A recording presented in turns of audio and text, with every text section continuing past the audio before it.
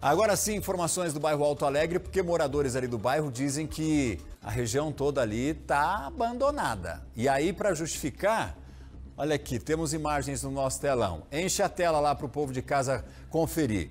É muito buraco, pouca manutenção pelas ruas. Nós fomos até um desses endereços aí, encontramos moradores revoltados mesmo. Estão cansados de pedir uma providência e até agora nada. Aldinei, nós estamos aqui na região oeste de Cascavel, no bairro Alto Alegre. Aqui, ó, nesse cruzamento onde está sendo construída uma nova capela mortuária da SESC.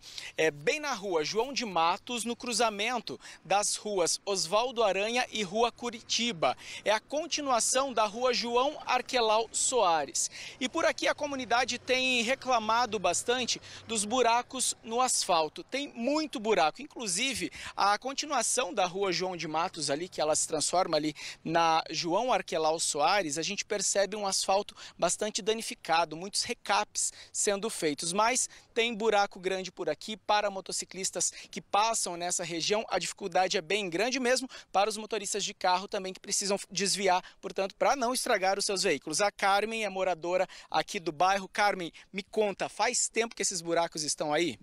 Faz tempo, faz bastante tempo que eh, esses essa rua aqui ela tá bem precária e não é só o buraco aqui, é mais para frente também, é muita pedreira. Os bueiros estão todos entupidos, como você pode ver. Se você der uma olhada ali, você vai analisar que os bueiros estão entupidos. Então tá bem precário mesmo, realmente precisando mesmo a manutenção nessas ruas aqui. Isso que eu ia te perguntar, a manutenção tem ficado a desejar? Você não tem visto, você, a comunidade aqui, os vizinhos, um trabalho efetivo aqui por parte da prefeitura?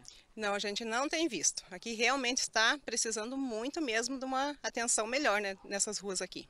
A, a, título desse buraco no início da rua João de Matos, bem em frente aqui à construção dessa capela mortuária, a gente estava comentando, seu marido, inclusive, ele dirige moto é um perigo para motociclista, né? Com certeza, com toda certeza é um perigo, porque assim meu marido anda de moto e ele já caiu várias vezes.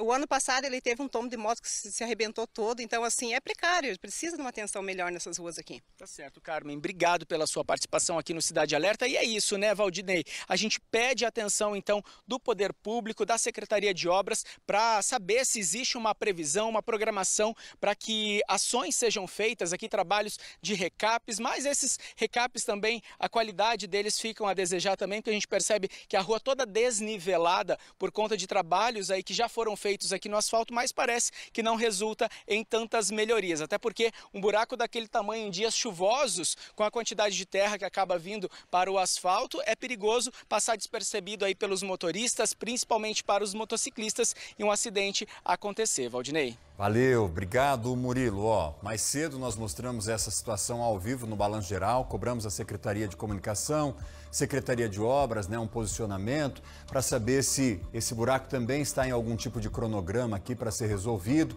Agora à tarde a nossa equipe entrou em contato novamente, na ânsia de receber essa resposta e trazer para você aí de casa mas não, não temos, né, Tiago Leandro, nosso editor executivo, não temos nenhuma resposta, então, da Prefeitura de Cascavel sobre essa buraqueira ali no bairro Alto Alegre.